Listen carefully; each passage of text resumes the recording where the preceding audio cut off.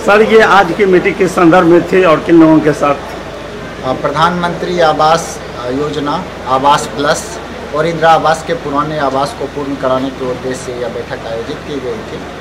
ज़िले के सभी प्रखंडों एवं उसके जो आवास सहायक है, ग्रामीण आवास सहायक, उनके साथ समीक्षा की गई है। जिन लोगों ने राशि लेने के बाद भी निर्माण कार्य शुरू नहीं किया है, उन पे सर्टिफिकेट केस दायर करने के लिए निर्देश दिए गए हैं।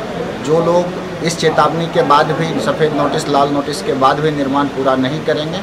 तो सर्टिफिकेट केस करके फिर डिस्ट्रेस वारंट बडी वारंट करके राशि रिकवरी की कार्रवाई की सर एक सवाल था। गर्मी बहुत बढ़ गई है और कई मोहल्ले में कई वार्डों में पानी की किल्लत हो गई है लेयर नीचे चला गया है। क्या व्यवस्था किया जा रहा है? आ, ये जानकारी हुई है। अभी हम लोग शहरी क्षेत्र में जहाँ पे पानी की समस्या उसे टैंकर से भी पानी देने के लिए निर्देश दिए गए हैं। कुछ जगह पे जो पाइपलाइन है, उसको दुरुस्त करने के निर्देश दिए गए हैं और चापाकल मरम्मती के लिए पीएचडी के माध्यम से दल सभी जगह भेजा गया है। उसको और सघनता से हम लोग उसको ठीक कराने का सर, एक चीज़ है कि ये पानी का लेयर नीचे जा रहा है।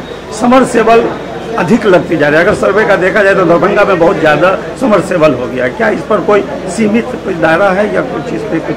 अभी इस पर कोई कानूनी प्रक्रिया इस प्रकार से नहीं है जिसको इन्फोर्स करने के लिए प्रावधान हो। लेकिन इसे आचरण में अपनाए जाने की ज़रूरत है प्रेरित किए जाने की ज़रूरत है कि हम लोग जल का बचाव करें, संचयन करें। हमारे जो जलाशय हैं, जो वाटर बॉडीज़ हैं उसमें हम लोग जल संरक्षित रखेंगे तो हमारा ग्राउंड वाटर का एक एक्यूफर जो है वो रिचार्ज हो सकेगा और हमें पानी गर्मी के दिनों में क्या निर्देश दिए अभी जिला पदाधिकारी महोदय की अध्यक्षता में प्रधानमंत्री आवास योजना ग्रामीण इंदिरा आवास योजना और आवास प्लस की समीक्षा की गई।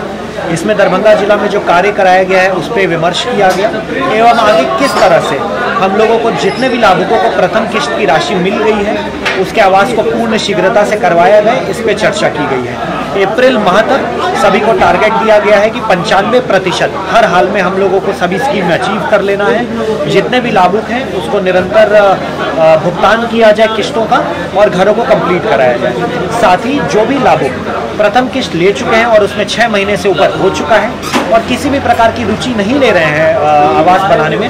उन पर नीलाम पत्रवाद करके राशि की वसूली भी की आज सर के द्वारा निर्देश दिया गया कि मनरेगा योजना जो लाभुक जो काम करना चाहते थे किस तरह मनरेगा योजना में काम देखिए प्रधानमंत्री आवास योजना में जो भी लाभुक को प्रथम किस्त मिलता है या सैंक्शन होता है उसको 90 दिन की मजदूरी मिलती है मनरेगा से। सभी लाभुक जो जुड़े हुए हैं उनको मनरेगा की मजदूरी दिलवाई गई है और जिन भी लाभुक का खाता सत्यापन या किसी कारणवश मनरेगा का लाभ नहीं मिला है, उस पर भी हम लोग भुगतान करवा रहे हैं। उससे फ़ायदा ये होता है कि उसको ना ही सिर्फ़ प्रधानमंत्री आवास योजना का एक लाख बीस हज़ार रुपये मनरेगा की भी 90 से सौ दिन की मजदूरी मिल जाती है और लोहिया स्वच्छ बिहार अभियान से शौचालय का भी बारह हज़ार रुपये मिल जाता है। उससे उसकी आर्थिक सहायता भी होती है और घर बनाने में भी ज़्यादा आसानी होती है। तो ये हम लोग सुनिश्चित करवा रहे हैं। सर, देखा जा रहा है कि कई, अगले वर्ष पहले कहीं कई बहुत आवास लंबित है और उसमें इंदिरा आवास सहायक के भी अकर्मणता के कारण है।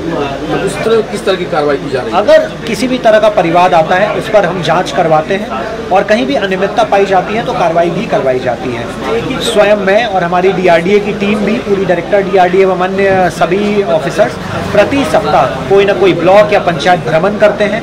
वहाँ पर सभी आवासों का कार्य देखते हैं और समीक्षात्मक बैठक भी की जाती है। पिछले एक वर्ष में हम लोगों ने अनियमितता पाने पर दो आवास सहायक को अनुबंध भी रद्द किया है और राशि की भी वसूली करते आ रहे हैं। तो जिस भी तरह का अगर परिवाद या अनियमितता होगा उस पर कठोर कार्रवाई सर ये न्यू मुख्यमंत्री आवास योजना कब फिर से चालू होने वाला है? लेकिन मुख्यमंत्री आवास योजना का लाभ उनके लिए तय होता है जो योग्य लाभुक हैं और किसी कारणवश प्रधानमंत्री आवास योजना की सूची में उनका नाम नहीं आया पाएगा तो दरभंगा जिला में हम लोगों ने एक सर्वे करवाया था लेकिन कोविड और आचार संहिता की वजह से वो सर्वे बंद हो गया था।